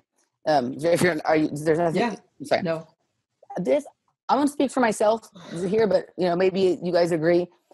We're not doing this or even naming names because we hate any of these people or because we wish anything harmful mm-hmm. for them. I actually feel for most there, there's some people that I think you know are seem to be nefarious, but even for them, I have a certain level of compassion because how did they end up losing their humanity to that point? We this isn't about creating a divisiveness or or saying somebody's bad because any one of us could have ended up in that same position if if yeah. if for something inside of us hadn't guided us to go a different way. Um, so I, I, you know, I can't imagine. I'm sure there are people who are involved in this who have those moments of like, "Fuck, I'm caught in something I can't get out of," but they keep going because it's hard work. To, it, it seems overwhelming to get out of it. And so, my hope in, it, with all of this isn't even to tell people not to go, but to go with the awareness that there is an agenda being pushed and that you're not just going to watch the agenda you're going to participate in the agenda so be careful and, and, and go with it under don't buy everything you take in you know look at everything yeah. objectively and then think about it for a while after when you're out of the situation before you decide what you're going to keep and what you're going to let go and you know to these people who sometimes through almost no fault of their own have found themselves in a place where they're out of integrity or where they're involved in something that is not what they intended to be involved in i invite you to please like you know like rejoin us we're here trying to figure out what's really going on and to try and do something to really help we don't really know we're still we're still trying to figure it out but mm-hmm. something has gone horribly askew and we're not i have no interest in outcasting anybody i want to invite them to rejoin the grass grass you know the the the, the horizontal what people you know or whatever we're going to call it like you know like this has to be a, like a horizontal bottom up movement not a movement where there's someone sitting at the top and telling people what reality is. Um, and so i think one of the things that's happened with some of this truth community and alternative information community is is somebody does something screwed up and then they get outcasted and we just throw them aside. They're still people. Yeah. we have to start creating a way for people to come back with us because this we, we really all if we're going to ever like fix this or completely understand it we are going to have to work together. I don't yeah. like collectivism we're all individuals but we need to cooperate and collaborate and whatnot. And so we have to you know we have to um, become more honest with each other honest with ourselves and when people screw up help them rejoin help them get back to themselves as opposed to just casting them aside. So this is done for me, at least for me, this wasn't a happy thing to do this. Um, and it's actually something that I'm doing out of love and concern for other people who I know are out there genuinely trying to figure out what the fuck is going on. Yeah, well, I mean, in the background well of all said. this, most most people don't realize that most of what we do is not ever broadcast, videocast, or podcast. That we're in constant yeah. contact with people, and I want to remind people as well we're coming up on a year ago when we went through this whole series of events with Max Spiers. I do mm-hmm. not want to live through that again, and I don't think anybody else in any of the communities does. And mm-hmm. it's very easy to see how assets are disposable in this business, especially in a media where people have become so jaded and cynical.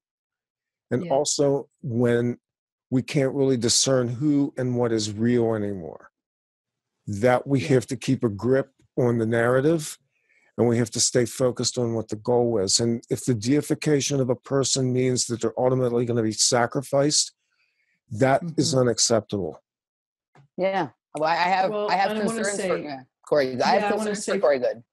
Both yeah. of you, well said. And I do have something I, I want to add after listening to both of you, and that is my final word would be that I've spent nine years now in what I call, you know, coming out publicly and deprogramming. And I've made a point, um, and held steadfast to it, except for in my books. I figured if people were willing to buy the books, there might be a few names dropped. Um, in my collages, they're there if people want to look at it. But when I went public on radio, um, I wouldn't name anyone. And part of that was uh, there were a couple of reasons for that, but part of it is that a lot of the perpetrators, people who were victimized, wound up as perpetrators like myself. I wound up being utilized and not only harming other people, but taking lives. And when I look out there, it's really difficult. And we talked about this, Emily, before doing this interview. It's really difficult to know where that line is of using people's names when you go on a, a show and have a conversation like this. But the reason I agreed to do this, and I was very trepidatious all the way up until the beginning of this recording um, about doing this, is because there's a lot of people who are victims, and you wind up having to use their names because I've tried to do it sometimes in a way that I'm not. I'm speaking in general terms and by groups and by organizations and religious organizations and not naming people. And then it stays so general that you see people, you know, being deified. Yeah. Um, and so I do think there came a point, and I don't know if you know what effect this this radio show will have but there did come a point in this particular conversation where some names needed to be said publicly because they have now reached quote god status end quote. And um, they do have followings and i do believe whether it's misinformation or disinformation it's the same result and um, so that's my reason for coming on and being willing to you know talk about very particular particular people yeah. at this point. No well said and, and and or organizations that are are you know being utilized to spread that information as well. That's it. Absolutely. Um so i think we're done. Yeah. Elisa thank you. It's always a pleasure and you're you're welcome here anytime um, Thank you. We really appreciate your contribution yeah, to this. Do. Like, we appreciate yeah. your openness, your uh, valor in speaking out. And can you tell people? Can you tell people where they can find your work? Yeah, um, there's a, a, blog site, Our Life Beyond MKUltra.wordpress.com, and there's a lot of um, all my collages are there. You can get a link to the two books, um, which is Our Life Beyond MKUltra Book One and Book Two but there's also a resource section and i really encourage people i've spent years now building um, a series of um, articles and links just loaded with links to all kinds of information not just you know the mk ultra information but what, every aspect that we've talked about and and more. So there's a lot of free information there too so i encourage people to go and and take a look around. And I, I know there's a lot of people out there and i now who are coming awake to some of the stuff and trying to figure out things that have gone on in their own life.